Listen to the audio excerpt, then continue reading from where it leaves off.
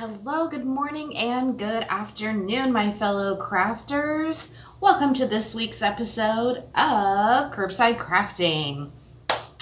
This week in story time, we talked about grandparents because September 12th is Grandparents' Day. So it's a lovely day to celebrate all the love that they have for you and all the love you have for them.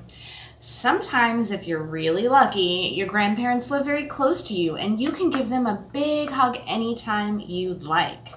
But maybe your grandparents live far from you and you don't get to see them as often, so sending a hug to them can be kind of tricky unless you have this craft that we are making this week.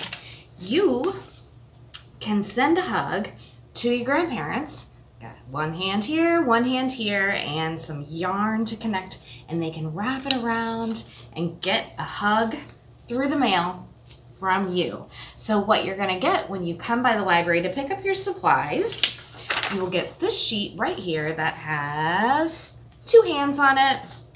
So you'll color those in however you like. The rainbow is kind of fun. And you will get a piece of yarn so that you can connect the two and I just taped it on the back.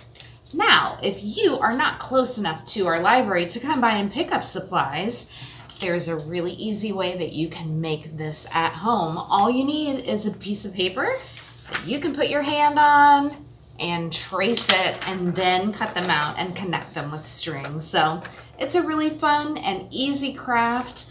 I actually made a bunch of these and sent them out to my friends um, a couple of years ago, and they absolutely loved it. So I hope you have as much fun with this craft as I did sending it to my loved ones. So have a wonderful day, and we will see you next time on Curbside Crafting.